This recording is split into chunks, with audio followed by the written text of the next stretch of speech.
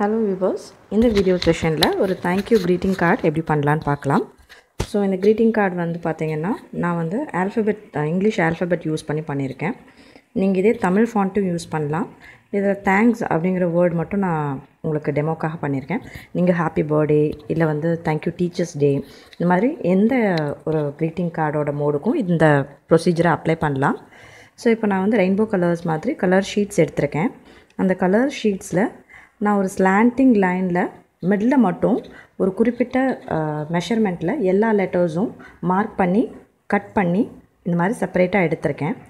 So இதுக்கப்புறம் இந்த sheet எப்படி அசம்பிள் பண்ண போகிறேன்னா ஒரு பிளெயின் இன்னர் கார்டு அதாவது ஒரு ஃபோல்டு பண்ணி ஒரு எம்டி ஷீட் எடுத்து அதன் மேலே வந்து இந்த கார்ட்ஸை வந்து இந்த லெட்டர்ஸை வந்து அசம்பிள் பண்ண போகிறேன் இதில் ஃபஸ்ட்டு வந்து பார்த்திங்கன்னா லாஸ்ட் லெட்டர்லேருந்து அடுத்தடுத்த லெட்டர் ஓவர்லேப் ஆகிற மாதிரி அசம்பிள் பண்ணிகிட்டே வரணும். இதில் நான் ஒரு டெமோக்காக வச்சு காட்டியிருக்கேன் பாருங்களேன். ஒரு ஹெச்சுக்கு மேலே டீ வைக்கும் போது அந்த இண்டிஜுவல் அந்த டீ லெட்டர் வந்து ஹெச் அந்த பேப்பரில் உங்களுக்கு தெரியும் எம்போஸ்டாக so thank you hope you all enjoy this video